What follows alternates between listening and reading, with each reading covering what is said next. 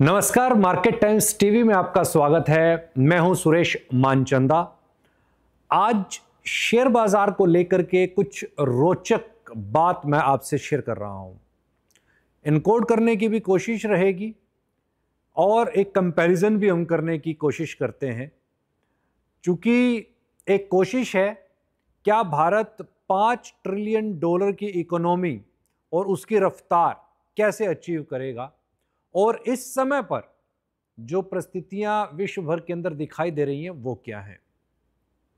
मैं अमेरिका की दो कंपनियों का ज़िक्र आपके साथ करूँगा। हालाँकि मुझे लगता है कि सभी इन दो कंपनियों को जानते हैं। एक माइक्रोसॉफ्ट और दूसरी अमेरिका की कंपनी एप्पल। ये दो वो कंपनियाँ हैं जिनका अगर मार्केट कैप अगर जोड़ दिया जाए। जी हाँ मार्केट कैप।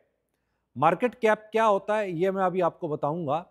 अगर इन दो कंपनियों का मार्केट कैप जोड़ दिया जाए और भारत के अंदर जो लिस्टेड तीन हज़ार आठ सौ इक्यावन कंपनियाँ हैं, उन तीन हज़ार आठ सौ इक्यावन कंपनियों के मार्केट कैप को अगर जोड़ दिया जाए तो इन दो कंपनियों का मार्केट कैप भारत की तीन हज़ार आठ सौ इक्यावन कंपनियों के मार्केट कैप से बहुत ज़्यादा है, लगभग एक ट्रिलियन डॉलर।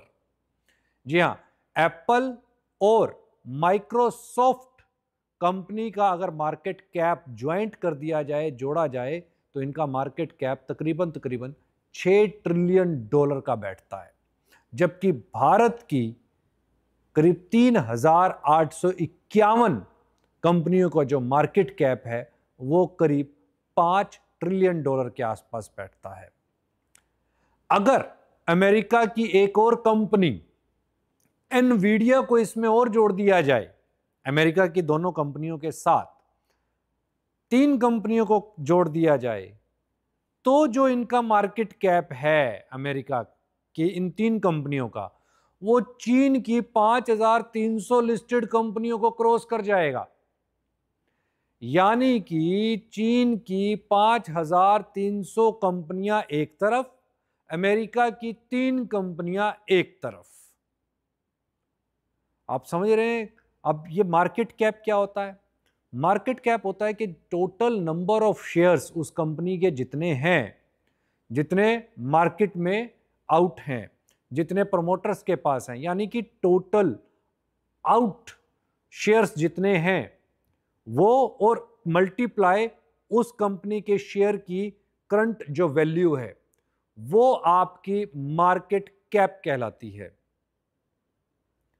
अब अमेरिका की तीन कंपनियाँ और दो कंपनियाँ एक तरफ़, भारत की तीन हज़ार आठ सौ इक्यावन कंपनियाँ और चीन की पाँच हज़ार तीन सौ कंपनियाँ एक तरफ़। इसी से आप अंदाज़ा लगा सकते हैं कि ये कितना बड़ा डिफरेंस यहाँ पर दिखाई दे रहा है। और भारत के जो शेयर बाज़ार है उसके अंदर अभी स्कोप कितना बड़ा हुआ है। मैं यहाँ पर आपको एक और जानकारी यहाँ पर देता हूँ। जो एप्पल है एप्पल ने सबसे पहले तीन ट्रिलियन डॉलर की जो मार्केट कैप है, उसको अचीव किया। ये अचीवमेंट उसको 2022 में मिली। उसके दो साल के बाद, करीब 2024 की जो शुरुआती दौर है उसमें माइक्रोसॉफ्ट ने भी तीन ट्रिलियन डॉलर की मार्केट कैप को अचीव कर लिया। एनवीडिया सबसे कम समय पर दो ट्रिलियन से तीन ट्रिलियन का सफ़र तय करने में कामयाब हुई 2024 में ही। केवल मात्र तीन महीने में अमेरिका की एनवीडिया कंपनी को एक ट्रिलियन मार्केट कैप का इजाफा मिला है। एक ट्रिलियन मार्क, डॉलर की मार्केट कैप में इजाफा हुआ है इसकी। यानी कि दो से तीन ट्रिलियन का जो सफ़र है, केवल मात्र एनवीडिया ने तीन महीने में अचीव कर लिया है। अब थोड़ा सा हम भारत की कंपनियों की तरफ़ भी एक नज़र दौड़ा लेते हैं। भारत की दस कंपनियों में से आठ जो कंपनियों का मार्केट कैपिटलाइजेशन है, वो तीन दशमलव दो आठ लाख करोड़ बड़ा है। यानी उसमें इजाफा देखने को मिला इन्हीं दिनों के अंदर में। इनमें टीसीएस को सबसे ज़्यादा ग्रोथ मिली है। करीब अस्सी हज़ार करोड़ रुपए की ग्रोथ टीसीएस को मिली है और इसका जो मार्केट कैप है, वो चौदह दशमलव शून्य आठ लाख करोड़ का हो गया है। वहीं एच की बात करें तो एच का जो मार्केट कैप है, वो करीब करीब अट्ठावन हज़ार करोड़ रुपए बढ़ा है और इसने अट्ठावन हज़ार करोड़ रुपए की जो छलांग लगाई है, उससे टोटल जो एच का जो मार्केट कैप है, वो छह लाख पाँच हज़ार करोड़ रुपए का हो गया है। वहीं रिलायंस इंडस्ट्रीज़ की अगर हम बात करते हैं तो रिलायंस इंडस्ट्रीज़ का जो मार्केट कैप है, वो इस समय पर उन्नीस दशमलव आठ आठ लाख करोड़, यानी कि उन्नीस लाख अठासी हज़ार करोड़ रुपए का मार्केट कैप हो गया है।